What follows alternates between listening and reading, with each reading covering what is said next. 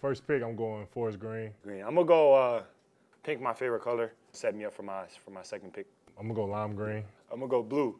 You know what I'm saying? I rep the magic. my my car blue. Which Come one? on. The Huh? Rolls Royce or the um, Bentley truck? Oh, never mind. Um, I'm gonna go gold. Man, you know, gold. You got gold bars. I'm gonna go turquoise. I like that. I like saying turquoise. I think that's a dope like thing word to say. I'm gonna go orange. That's my that's my auntie's favorite color actually. We're gonna go red. I think I've done a great job in not only being loud, but also establishing, you know, culture and getting those, you know, those statement colors. You know what I'm saying? I'm gonna go beige.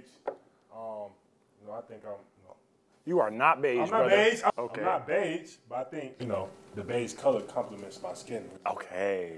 Okay. Yeah, Me, okay, I'm closer to beige. For my fifth pick, we're gonna close it out. Let me get a loud statement piece.